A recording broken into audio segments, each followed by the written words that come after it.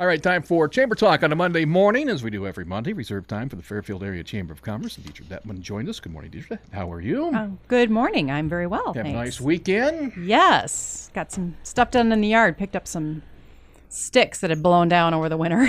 I am uh, be perpetually known as a procrastinator, so I have yet to get out and start even working on the yard. oh my goodness. But I did walk around the house and noticed the uh, I don't know if they're crocus or daffodils Mm-hmm, or tulips or I, I just worry about those little buggers. Yeah, they're all poking up, aren't they, And boy? The trees are budding on the Almost seem square. grow. And, ah, so I worry about them. I worry about them. But warm weather is still here, and uh, we'll see. We'll see. Geese how are flying. The blackbirds are singing. It's beautiful. I saw swans a week or so ago.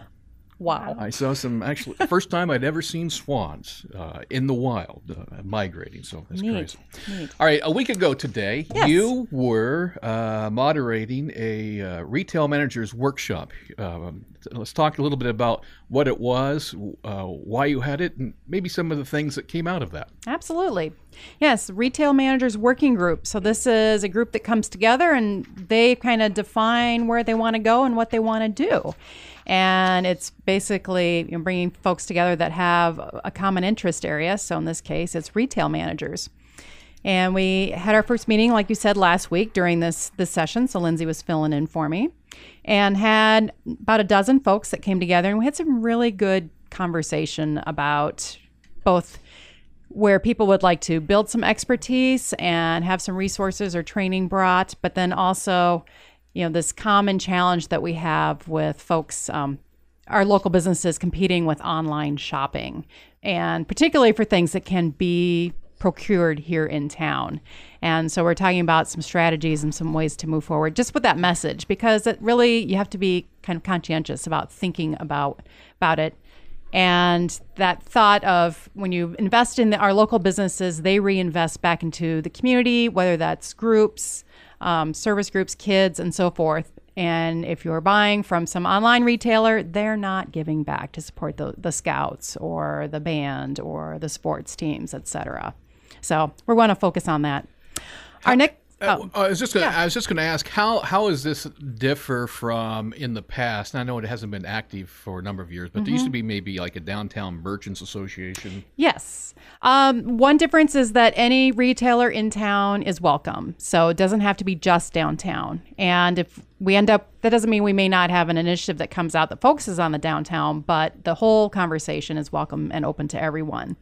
We are also welcoming restaurant owners, not just retail businesses. Um, didn't have any that attended this first meeting, but I want them to know they're welcome, or we can pull together a separate conversation if that's desired. And, and it probably should be highlighted that the dynamics of downtown uh, Fairfield have changed over the decades, where 25, 30 years ago, uh, all the storefronts were filled with uh, uh, shops of one f- form or another. That's not the case today. So there are different s- needs and struggles. That's true. That's true. And I know the Convention Visitors Bureau um, has done some studies and and looking at that and you know kind of the, the best way to try to design your downtown or as you has have space openings, what kind of businesses you would ideally like to put there if possible. It's interesting because I've had uh, visitors come to town and they, they're um, always amazed of how uh, vibrant our downtown is because they may have come from a community where there are a lot of shuttered buildings. we don't have that struggle, but on the other side, there's not a lot. You know, the retail side of it is a lot smaller than it was, as I mentioned, uh, 20, 30 years ago. yep, there's still opportunities, so that's what we're looking at. So what what happens next? Well, what happens next is we're doing some homework at the chamber based on some of the needs that were expressed. And we do have another meeting planned. So it was great. Folks wanted to come back together in a month. So we'll actually be meeting Monday, March 27th uh, from 8 to 9 a.m. And this time we're going to meet downtown at Health and Wholeness in their new space. And so, again, we welcome folks. Uh, we are going to be bringing in chairs for seating. So it would be nice to know in advance if you're planning to join us, just so you don't have to stand or sit on the floor. Fi- Find out more information by emailing the chamber, chamber at fairfieldiowa.com. Since we've last spoke, the uh, window to nominate uh, businesses and individuals for the upcoming Chamber Banquet Awards event is uh, closed, but Yes. the planning for the actual event is in full swing. It is, and we are starting. We're getting the calls coming in for folks reserving tables or uh, purchasing their tickets. So please give us a call today. Again, those come. Those tables are reserved and seated. You know, first come, first serve. So the sooner that you make that reservation, the closer to the front and all the action you will be. 472 2111. Talk to Lindsay. She can get you uh, penciled in for a re- reservation. Again, the date on that, by the way, is April 6th, Thursday, Yes. April 6th. And the theme again is Fairfield All Stars. Yes, it is. All right. Let's Sports theme. sports theme. Let's uh, look down the calendar just a little bit further. March 21st, a couple weeks. In fact, uh, two weeks from tomorrow, I believe. Yes, our speed networking that we're so excited about and had Josh on here a couple weeks ago, we did not get kind of the critical mass pre registered. I think part of that was the really nice weather we were having around that time. So we're going to give it another shot and instead offer it um, a little bit later in March, Tuesday the 21st, again, 645 to 815 in the evening at the Best Western Fairfield Inn. And happy that this is sponsored by State Farm Sean, Sean McCarty. All right, uh, let's highlight your member to member discount uh, feature outlet this week. Yes, it's Fairfield Nutrition here on the square, and they're offering a free body composition analysis plus 20% off a retail product order. Also, wholesale member discounts up to 50% are available. If you're looking for something filling, nutritious, and uh, a little lighter for lunch, maybe stop, uh, stop over and uh, see Sue for uh, a delicious shake. Absolutely, absolutely. Yep, I've been sampling some of their products. And Before we get to our guest today, I want to real quickly mark the calendar for the next legislative forum. Yes, that's coming up on the Saturday the 18th, so a week from this Saturday. All right.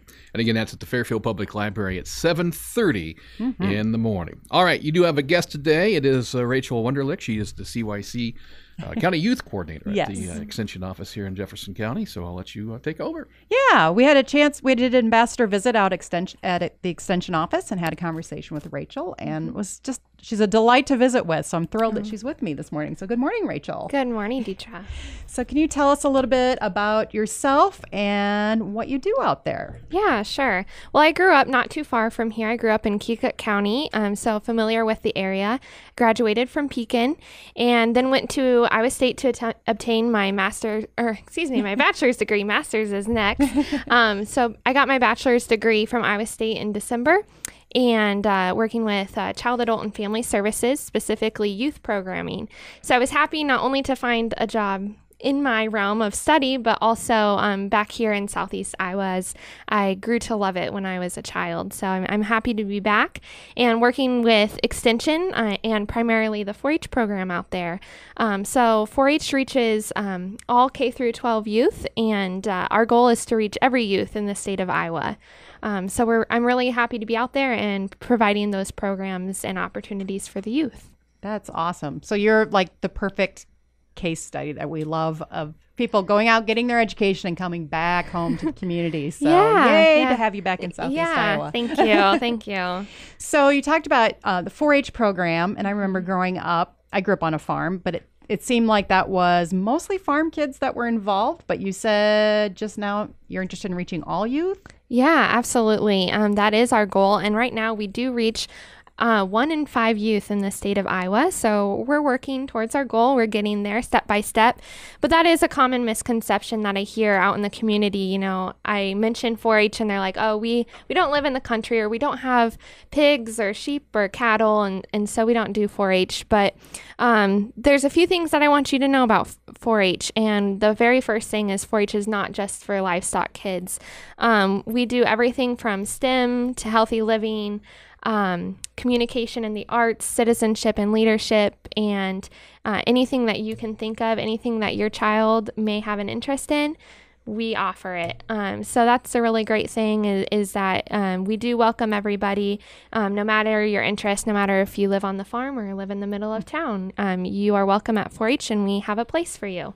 Um, so that's the first thing that I want you to know about 4 H is it's not just for livestock. Another thing that might catch the adults' attention is that it is all research based. Um, everything from our curriculum to our icebreakers. There's a purpose to it and there's research to back it. And our mission is actually to empower youth to reach their full, full potential through youth adult partnerships and research based experiences. And so we really value the research that comes um, primarily from Iowa State um, and the best practices that come from there.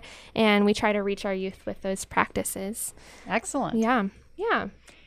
Um, anything? Did you have other points you wanted to cover? I didn't want to cut Um, off. no, no, it's okay. Um, another big thing is um, a lot of youth programs believe that uh, youth you know they're developing youth to become leaders of tomorrow when they're in their adult stage but in 4-h we really strive to make leaders of today while they're in their youth um, we value their citizenship as they're young and um, work to also promote that throughout their adulthood as well um, Great. Well, Yeah. I think if we think about the exhibits we see at, you know, county fair, state Mm-hmm. fair, and the wide breadth of things, like you said, it's way more than just livestock. So that should remind folks that it absolutely is open to any um, child and family that that's interested. mhm, absolutely Fantastic skills that are that are that are trained.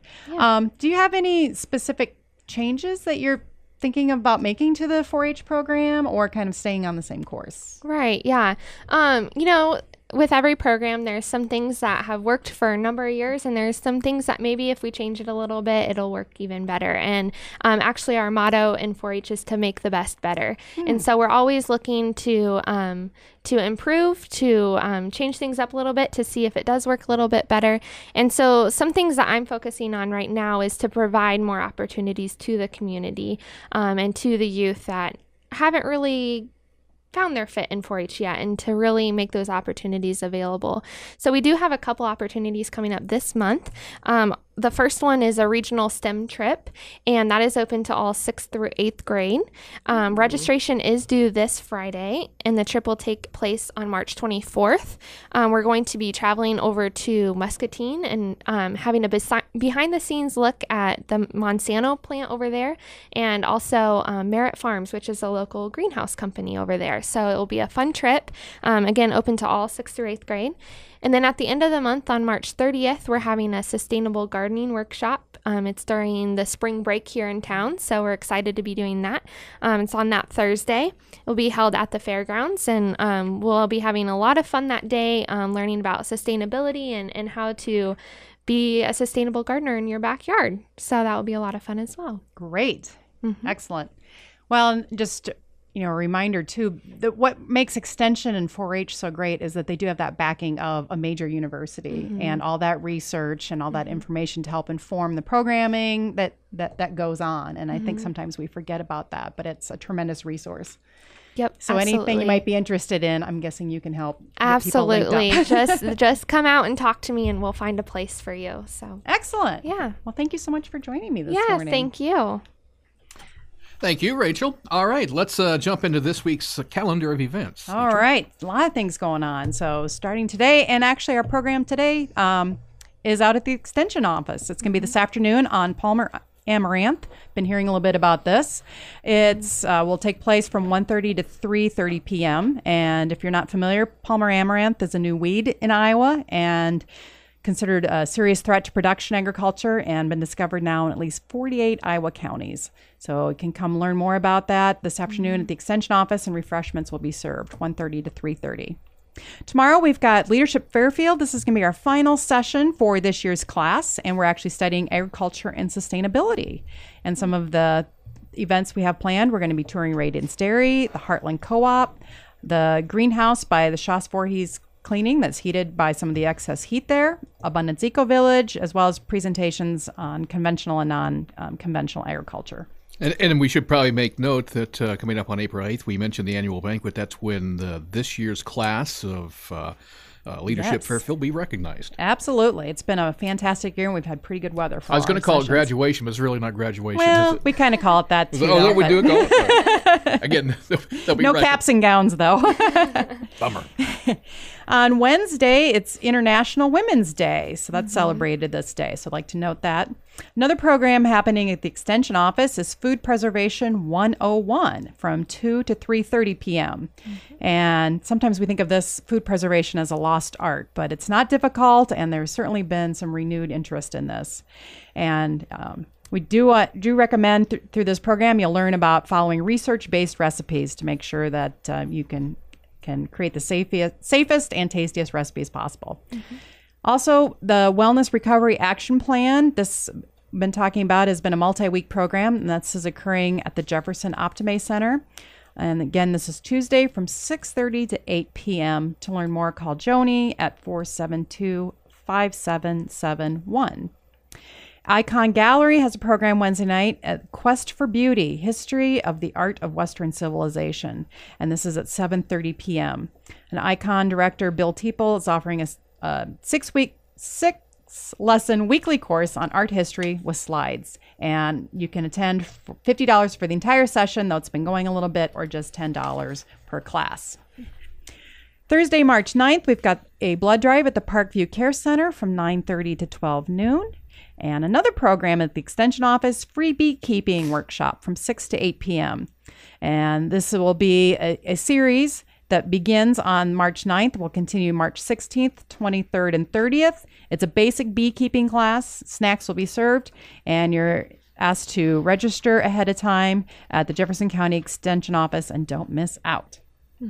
Then, as we get towards the end of the week, Friday, March 10th, we've got the Health and Resource Fair that's going to be held at the Fairfield Middle School. And John, our friend at RSVP, let us know about this. This is occurring from 5 to 7:30 p.m. And RSVP, along with other folks, will have booths there. And in particular, RSVP is going to be sharing information about their uh, their new volunteer program to help arrange tutors at Pence Elementary. They'll also uh, be talking about their other, at least 14 other volunteer opportunities that you have in the community. Plus, you can visit all the other booths as well. So again, that's happening Friday at the middle school from 5 to 7:30 p.m. Saturday, March 11th, we've got the Fairfield Farmers Indoor Market in the morning at the Senior Center, at 9 a.m. to 2 p.m. Habitat for Humanity is having a, a build day at from 9 a.m. to 1 p.m. at 916 North 9th. And specifically, they're looking for help to lay the floor and painting. So wear that old sweater grandma gave you in high school because it might get dirty. There's also a vendor blender, which is happening at Pence Elementary from 9 a.m. to 4 p.m. on Saturday. And it's going to be filled with vendors of all types. And if you're interested in being a vendor, call Angie at 919 5302. Waterfowl watching program. This is with Diane Porter and naturalist Therese Kaminsky. They're going to be watching for wildlife waterfowl in Jefferson and Van Buren counties from 9:30 a.m. to 1:30 p.m. And last, Magic of Bill Blagg live at the Sondheim 7:30 p.m. Um, on Saturday evening. Wow. We're probably running out of time. We're getting close. That's a, a very full calendar. Don't forget to log on to fairfieldiowa.com, click on the calendar of events, and you can keep up to date on those programs and many, many others listed there as well. Once again, time is now to reserve your spot and table for the annual banquet, April 6th. Call 472 2111. yes. All right. Rachel, do. thanks for stopping by. And Thanks uh, again for having me. See you next week. All right. Stay tuned. Markets are next with the Brownfield Radio Network.